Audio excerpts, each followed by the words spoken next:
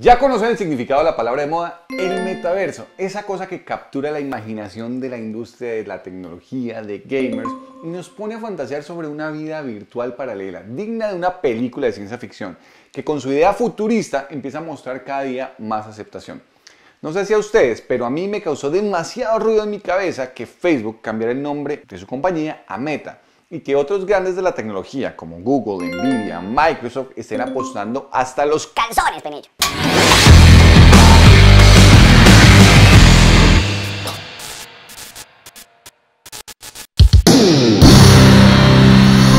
Bienvenidos a Futuro.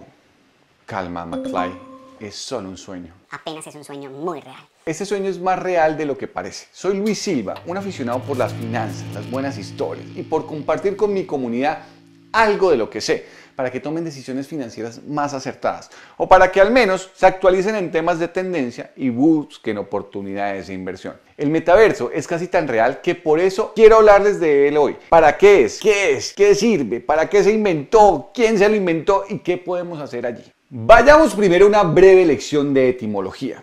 Meta significa más allá y verso es una derivación regresiva de universo. Por lo tanto, podríamos decir que metaverso es una ampliación de nuestro universo. Un poco volada la idea, ¿no? Pero grandes empresas de tecnología como Apple y marcas de lujo como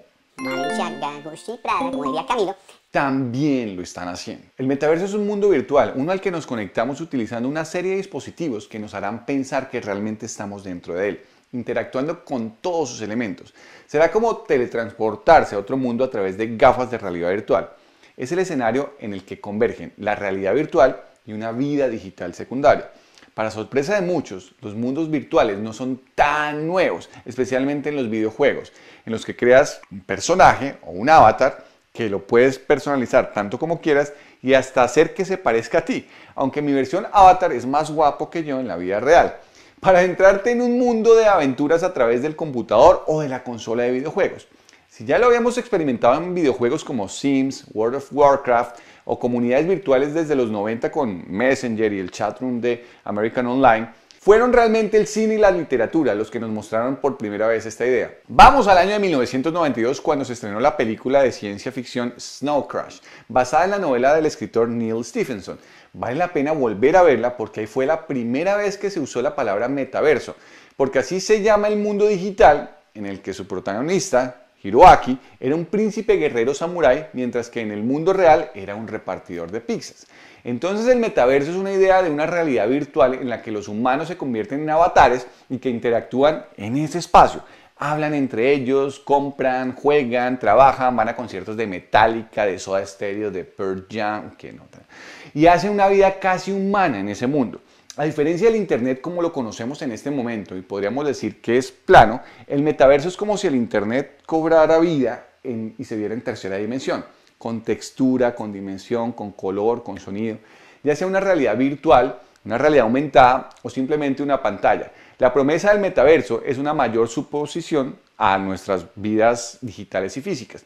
Entonces, mi gente, el metaverso es la próxima evolución de la conectividad de modo que vives tu vida, una vida virtual, de la misma forma en que vives tu vida real. Hasta con reggaetón, para mi infortunio. Y ustedes dirán, muy chévere las palabras y tu vida digital paralela y utópica, pero ¿cómo es que se está sacando dinero en una vaina que ni existe? Amigos, el billuyo, los pavos, las lanas, las lucas, los reales, los chelitos, la guita, la plata y en últimas, el dinero está en todas partes. Morgan Stanley considera el metaverso como un mercado direccionable de 8 billones de dólares por todas las transacciones que se hacen con motivo de juegos en línea, comercio electrónico, asistir a conciertos, arrendar tierras en el metaverso, galerías de arte y vender NFTs. Último y no menos importante para poder vender todo eso, hacer publicidad a través de redes sociales. Por eso Facebook, Meta, anunció a finales del 2021 una inversión de al menos 10 billones de dólares en su división de metaverso, porque en palabras de Zuckerberg, este sería el sucesor del Internet. Ahora aterricemos esto para anticiparnos y no llegar tarde a la monetización del metaverso. Les traigo 8 ideas de negocio en este mundo paralelo. Creación de NFTs. Si todavía no estás familiarizado con esto, te voy a dejar en la descripción del video y por aquí te voy a dejar un link con el enlace a mi otro video en el que explico este tema de los NFTs. En el 2021 los NFTs causaron más conmoción que la segunda temporada de J. Lo y Brad Pitt. Y si no, recuerden la primera noticia de la subasta del primer tweet o del Beeple de 69 millones de dólares o en su equivalencia en Ether. El metaverso podrá convertir cualquier creación en un NFT y venderse abiertamente en los mercados. El metaverso se basará en avatares, en mansiones, en indumentaria, en tarjetas coleccionables, entre otros elementos digitales completamente diseñados y creados por los usuarios. Hay muchos tutoriales en línea sobre cómo crear un NFT, que es esencialmente una prueba digital de propiedad y autenticidad de un artículo. Para aquellos que no están particularmente interesados en esto, hay otras opciones a considerar como ser vendedor de arte. Real estate. Al igual que en el mundo real, los bienes raíces virtuales están siendo muy demandados. En el metaverso, los desarrolladores buscan que todo sea lo más posible a la realidad. CNBC informó que desde que Facebook dio el paso para convertirse en meta, los precios de las parcelas digitales han subido hasta en un 500%. Entonces, en el metaverso puedes revender los lotes, comisionar al igual que un broker de finca raíz, arrendar, convertirte en el manager de edificios. O si el diseño de interiores es lo tuyo, también será un negocio lucrativo dentro de poco. Vas a ver. Publicidad.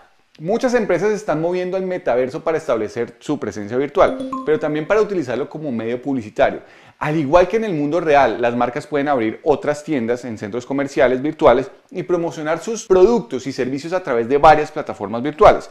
A medida que se unen más usuarios y que se vayan sumando más a la red del metaverso, y se convierta en una plataforma masiva de marketing y publicidad, pues esto se va a volver más atractivo.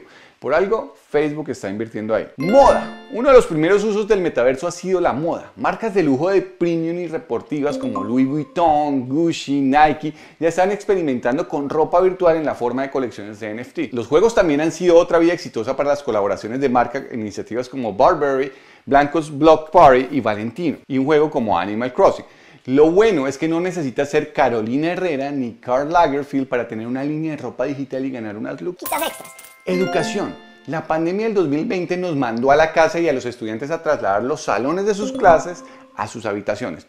De acuerdo con cifras del Foro Económico Mundial, más de 1.2 billones de niños estuvieron fuera de salones durante esa época. La educación en línea creció porque el COVID-19 cambió de manera drástica la forma en que aprendíamos, pero aún no ha cambiado nuestra naturaleza humana. El humano es un ser social que necesita interacciones y adivinen, en medio de la digitalización del metaverso también podrían haber otros centros educativos en entornos que parecieran reales. ¿Se imaginan tomar una clase, digamos una clase mía de opción Sigma, presencial en el metaverso? Mejor dicho, es que si eso pasa, alisten maleta y calculadora ya mismo porque mientras eso pasa, pueden ver mis clases en www.opcionsigma.com. Emprender. El metaverso sería el lugar perfecto para los emprendedores. Los usuarios pueden abrir tiendas y poner en marcha sus negocios más fácilmente que en el mundo real, ya sea en moda, en coleccionables deportivos, en bienes raíces, en entretenimiento. Hay muchísimos negocios que serían hasta más fáciles de administrar. Viajes y turismo. Qué bueno sería viajar en cuestión de segundos sin tener que lidiar con las cancelaciones de vuelos. De necesidad de quitarse los zapatos, la chaqueta, de que mejor dicho lo toquen a uno, los filtros de seguridad. El metaverso será una continuación del mundo real y la idea es que estos sitios y eventos históricos del mundo físico eventualmente puedan ser recreados virtualmente. Esto dará lugar a puestos de trabajo en el sector turismo del metaverso, tales como guías turísticos y agentes de viajes dentro del metaverso. Entretenimiento. El entretenimiento jugará un papel bien importante en los metaversos como el Sensorium Galaxy, que albergará conciertos de superestrellas como David Guetta, como Armin Van Buren, las fiestas, los conciertos y los eventos deportivos seguramente atraerán a miles, sino a millones de fanáticos, de personas, por lo que los promotores y los anfitriones serán tan necesarios como en el mundo real para asegurarse de que los mundos virtuales tengan eventos absolutamente alucinantes. Ojalá en el metaverso ocurra un partido Santa Fe, mi glorioso Independiente Santa Fe de Bogotá, Colombia versus Real Madrid. Yo estaría en primera fila, en primera línea, así llore la previsible goleada que le van a meter a mi Santa Fecito. Ya les dejé varias ideas de negocio en el metaverso. Ahora, no hay que obviar los riesgos y las preocupaciones que ya existen alrededor, como una posible monopolización que incumpliría la visión utópica de un ecosistema descentralizado. Aunque el metaverso aún está en sus primeros, en sus pasitos, en sus inicios, dando los primeros pasitos de bebé, al igual que mi sobrinita, estamos a tiempo de resaltar algunos problemas que podrían surgir antes de que eso sea irreversible. Para mí, una de las preocupaciones más preocupantes es la naturaleza misma del metaverso en que combina el mundo digital y el real a partir de tecnologías de realidad virtual y la aumentada. Esta combinación podría ser tan envolvente que podría confundir la vida real con la virtual. Pero antes de divagar y enloquecer en mis propios pensamientos, les comento estas otras dos preocupaciones que ya son tema de discusión de las autoridades académicas y económicas. De hecho, yo ya hice mi prueba del metaverso y compré una de estas gafas óculos y les puedo decir que es alucinante lo que puedes vivir allí. Estas discusiones son privacidad. Los cascos y accesorios de realidad virtual pueden recopilar más información sobre nosotros que las mismas cookies y pantallas tradicionales lo que brindaría a las empresas el chance de usar y compartir esta información con fines comerciales. Adicción digital y otros asuntos mentales. De acuerdo con un estudio publicado en el Journal Clinical of Psychiatry, del cual les dejo referencia aquí en la descripción, uno de los impactos más fuertes podría ser la psicosis asociada al uso excesivo de tecnologías digitales. En conclusión, todavía hay mucho tema en el aire y a pesar de que no hay certeza sobre la arquitectura ni las posibles regulaciones del metaverso, sin duda existe allí una oportunidad de negocio. Mientras seguimos sorprendiéndonos por ese acercamiento a lo que parecía lejano e imposible, les diré algo más que me llevo de mi película favorita. Remolqué tu carro hasta aquí y la recompensa es solo una cerveza. Me la tomaré y nos vemos a la próxima, amigos. Si te pareció interesante este video, dame un like, déjame tus comentarios y nos vemos en la próxima. Hasta pronto, seres digitales.